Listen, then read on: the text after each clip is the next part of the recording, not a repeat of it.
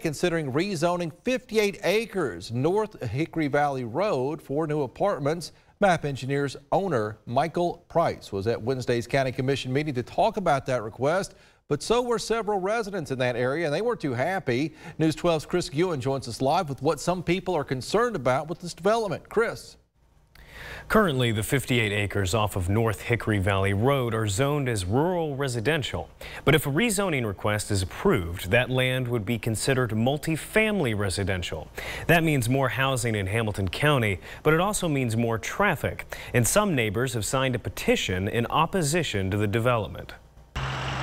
Property developer RM Investments LLC is asking Hamilton County to rezone 53.9 acres on North Hickory Valley Road from rural residential to multifamily residential.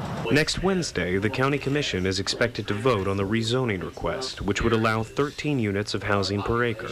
But the request has garnered criticism from residents, some of whom appeared at Wednesday's County Commission meeting to express their concerns about the potential construction.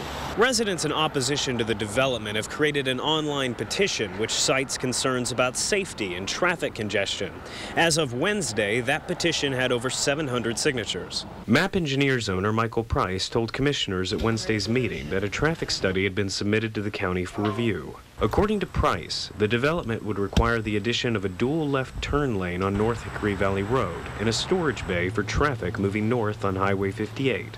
According to the Regional Planning Agency, the development would create more than 5,000 new vehicular trips on North Hickory Valley Road every day.